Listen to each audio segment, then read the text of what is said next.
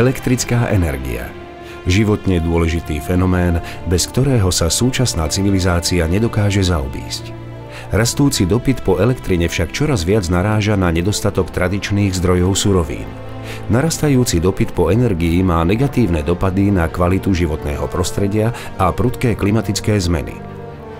Do roku 2020 je zámerom dosiahnuť podiel obnoviteľných zdrojov energie na konečnej spotrebe EÚ vo výške 20% Pre Slovensko to predstavuje záväzok zvýšiť podiel na konečnej spotrebe energie z hodnoty 6,7 v roku 2005 na 14% v roku 2020.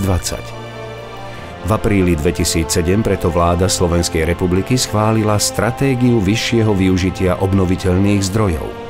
Následne bol na podporu výroby elektriny z týchto zdrojov v roku 2009 schválený zákon o podpore obnoviteľných zdrojov energie a vysoko účinnej kombinovanej výroby. Základným kameňom pre využívanie obnoviteľných zdrojov energie je stabilita prostredia zabezpečená 15-ročnou garanciou výkupných cien. Vlastná produkcia elektrickej energie však predstavuje iba časť aktivít zameraných na elimináciu negatívnych dopadov rastúcej spotreby elektriny na životné prostredie. Pozrime sa teda spoločne na projekty, ktoré VSE z vlastnej iniciatívy v tejto oblasti realizuje. Všetky tieto aktivity zjednocuje pojem zelená budúcnosť. Východoslovenská energetika having business activities in different sectors and we are especially in subtopics first mover in Eastern Slovakia.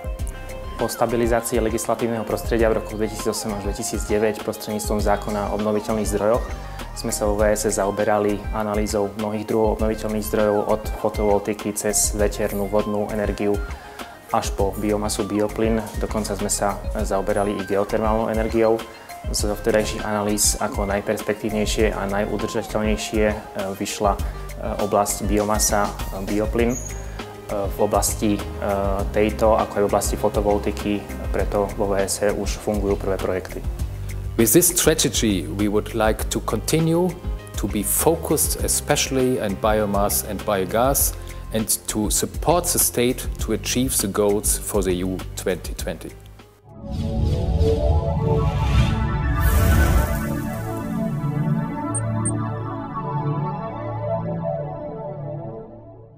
VSE sa energetickej efektívnosti venuje intenzívne už od roku 2008.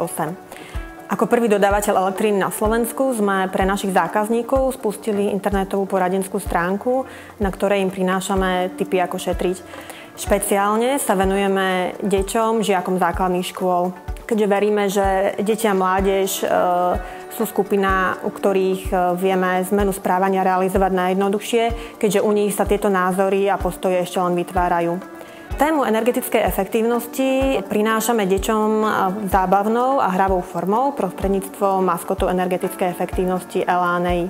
Majú aj svoju internetovú stránku na Facebooku, kde získali už 3500 fanúšikov.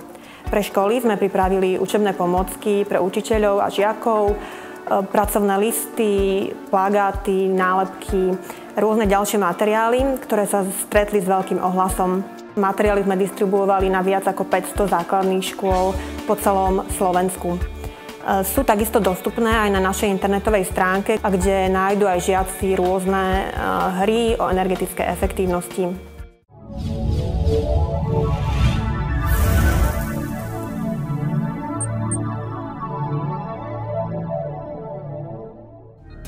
Východoslovenská energetika identifikovala najväčšie environmentálne vplyvy Jedným z nich je aj nebezpečenstvo prevádzkovaných distribučných zariadení pre vtáctvo. V snahe vysporiadať sa aj s touto záťažou VZ uzatvorilo so štátnou ochranou prírody a s nevládnymi organizáciami dohodu o spôsobe odburávania tejto záťaže. Prioritou bude južná časť distribučného územia VZ a v tejto južnej časti chránené vtáčie územia. Ako s prvým sme začali so schráneným vtáčim územím Ondavská rovina, kde boli v minulosti ošetrené všetky podperné body. Nasledovalo chránené vtáčie územie Košická kotlina, Medzibodrožie. V tomto roku realizujeme opatrenia v chránenom vtáčom území Slovenský kras. Tieto opatrenia sa vlastne týkajú všetkých druhov vtáctva, ktoré žijú v týchto územiach, ale samozrejme najviac postihované bývajú dravé vtáky, napríklad orly, sokoly a samozrejme vtáky s väčším rozpetím krídel. Na Slovensku sa vyskytuje 1150 párov bociana ale ich rozmiestnenie tých hniezd nie je rovnomerné. 70% hniezd bociana aktuálnej populácie hniezdí na východnom Slovensku a tých 25 hniezd je na stĺpoch elektrického vedenia. V ľudovej symbolike je bocian považovaný za nositeľa detí, za symbol šťastia. E, nám, energetikom, spôsobuje miestami rasky na tvári. E, ide o to, že pri stavbe bocianých hniezd si častokrát do hniezda prinesie aj materiály, ktoré spôsobujú skraty, výpadky v distribúcii. Na druhej strane takisto predstavujú dosť vážne ohrozenie aj pre samotný druh ako bocian biely, e, nakoľko dochádza k požiarom týchto hniezd alebo pre mláďatá bocianov v štádiu, keď sa učia lietať, tak sú ohrozením ich života. Na aktivity súvisiace s ochranou vtáctva VSE ročne investuje približne 266 tisíc eur. Okrem spomínaných aktivít VSE podporilo v rámci svojho nadačného fondu VSE s prostredníctvom Karpatskej nadácie aj program, ktorý sa volá Symbioza. Podporili sme ho v roku 2010 a 2011 e, sumou 50 tisíc eur. Spolupráca s východoslovenskou energetikou pre nás je veľmi dobrá, pretože sme vytvorili viacero aktivít, ktoré doteraz neboli na Slovensku realizované a mohli sme sa popíšiť spolu s východoslovenskou energetikou, že čo si také sme dosiahli. Získalo to mm, veľký ohlas v zahraničí, že takto na Slovensku je zabezpečená ochrana bociana.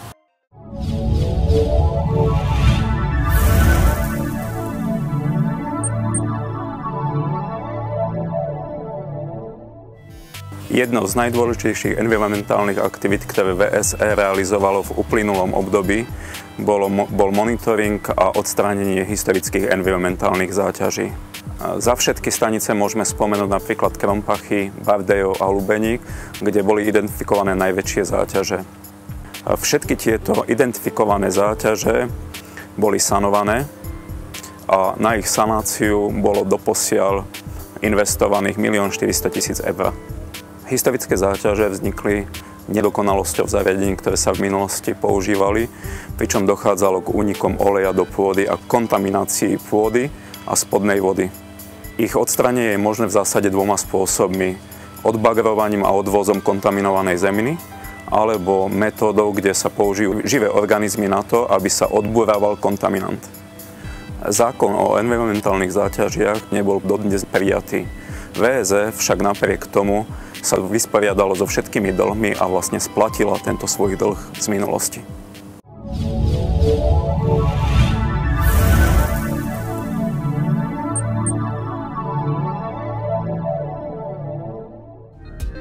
Energia Slnka dopadajúca na zemskú atmosféru tisíckrát prevyšuje energetickú potrebu ľudstva na Zemi. Ide o prakticky nevyčerpateľný zdroj energie, ktorý sa dá vhodnou technológiou premeniť priamo na energiu elektrickú. Jedným z projektov VSE v tejto oblasti sú fotovoltické elektrárne v Prešove a vo Svetušiach.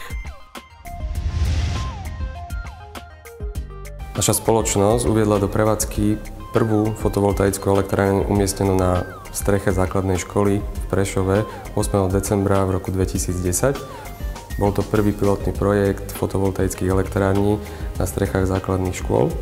Výstavba elektrárne trvala 6 týždňov. Na strechu pavilonov sme umiestnili 408 kusov fotovoltaických panelov. A celkový inštalovaný výkon tejto elektrárne je 97 kW. Partnerom projektu je mesto Prešov, ktoré ako zriadovateľ základnej školy poskytlo strechu za symbolické 1 euro. Tešíme sa z toho, že môžeme spolupracovať s VZ Určite by sme chceli pokračovať ďalších takýchto projektov. Pre Prešov je určite veľkou výzvou aj napríklad geotermálna energia, ktorá je určite s tou jednou z tých najčistejších energií. Sme radi, že aj takéto veľké firmy, ktoré sa zaoberajú energetikou, sa venujú aj zdravému životnému prostrediu, aj práve tejto výrobe energie z obnoviteľných zdrojov. Technológia priamého využitia slnečnej energie, respektíve jej premena na elektrickú, je využitá aj v Svetušiach. Východoslovenská energetika realizovala projekt fotovoltickej elektrárne o inštalovanom výkone 0,99 MW. Výstavba sa začala v auguste roku 2010 a odozdaná bola začiatkom decembra, kedy prebehli úspešne funkčné skúšky.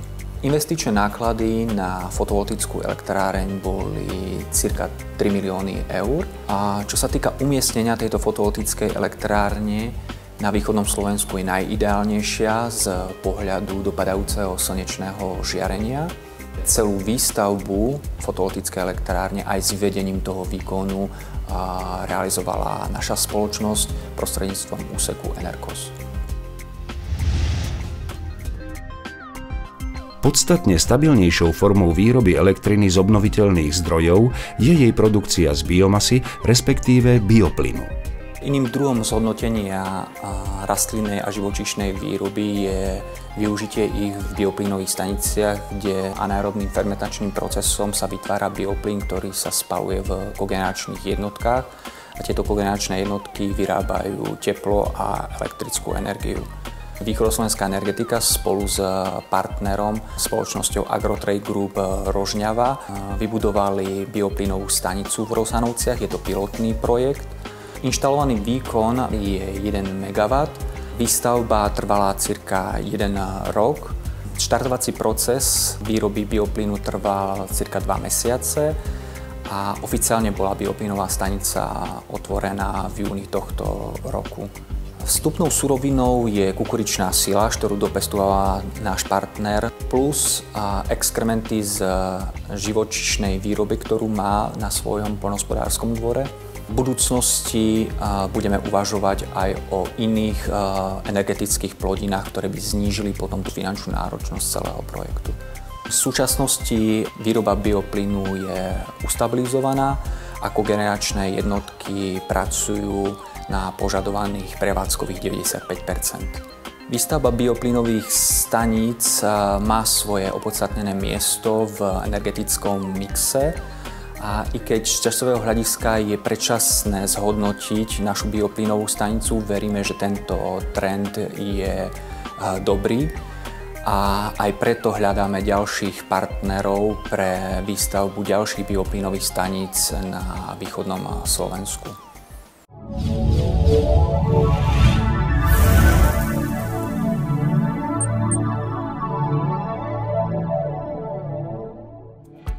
Projekt e-mobility je zameraný na podporu ekologického spôsobu dopravy, ktorý má za cieľ vytvoriť podmienky pre využívanie aut s elektrickým pohonom. Výhodou elektromobilov oproti bežným automobilom je nulová produkcia emisí počas jazdy, nižšie prevádzkové náklady oproti klasickým automobilom a bezlučná prevádzka. Podľa štatistík 70% Európanov najazdí menej ako 40 km denne, preto koncept elektromobilov je predurčený na bežnú mestskú premávku. Na to, aby sme mohli využívať tento koncept, je potrebné, aby bola dostupná infraštruktúra verejných nabíjacích staníc. Východoslovenská energetika ako prvý subjekt na Slovensku uviedla do prevádzky verejné nabíjacie stanice pre elektromobily. Prvú z nich sme odovzdali do prevádzky na Mlinskej ulici v Košiciach 30. novembra 2010, druhú pred budovou Ministerstva hospodárstva v Bratislave 31. mája 2011. Nabíjacie stanice, ktoré inštalujeme, sú vyrobené a dodávané našou materskou spoločnosťou RVE. Sú vybavené konektormi, ktoré sa majú stať štandardom v rámci Európskej únie. Umožňujú nabíjať dva elektromobily súčasne Ide o stanice so stredne rýchlym nabíjaním, čo znamená, že elektromobil je možné nabiť v priemere za 2 hodiny. V blízkej dobe plánujeme inštalovať sieť verejných nabíjacích staníc naprieč Slovenskom tak, aby bolo možné prejsť s elektromobilom z Košic do Bratislavy. Vo vedení mesta Košice vítame projekt východoslovenskej energetiky, ktorý považujeme za významný prvok ekologizácie dopravy. Mňa osobne veľmi teší, že práve prvá nabíjacia stanica bola otvorená v Košiciach a ja dúfam, že toto prvenstvo na začiatku našej zelenej budúcnosti bude zároveň prvenstvom v reálnej ekologizácii celej dopravy v Košiciach. My vo VSS sme sa stotožnili s týmto projektom a veríme v jeho budúcnosť. Veríme, že e-mobilita, aj keď nie úplne horúcou témou teraz. Do budúcna určite získa na dôležitosti a príde doba, kedy skutočne elektromobily budú jazdiť po našich uliciach. Okrem budovania infraštruktúry nabíjacích staníc, VSE rozšírila svoj vozový park o prvý elektromobil. Momentálne ho využívajú pracovníci z úseku merania pri plnení každodenných pracovných povinností. Zelená budúcnosť pre modrú planétu. Planétu, ktorú sme nezdedili od našich predkov, ale požičali sme si ju od našich detí. Je preto našou povinnosťou robiť všetko preto, aby sme ju chránili pred následkami nepremysleného a nezodpovedného konania našej civilizácie. Dôležitý je preto postoj každého z nás. Oveľa dôležitejšie ako prejavy na konferenciách a prijaté uznesenia vlád sú však naše činy. Ako ste videli v tomto filme, VSE dokazuje svojimi činmi, že to so zelenou budúcnosťou regiónu, v ktorom pôsobí, myslí vážne. VSE to sú ľudia, ktorí túto spoločnosť tvoria. Zelenú budúcnosť modrej planéty máte teda v rukách práve vy.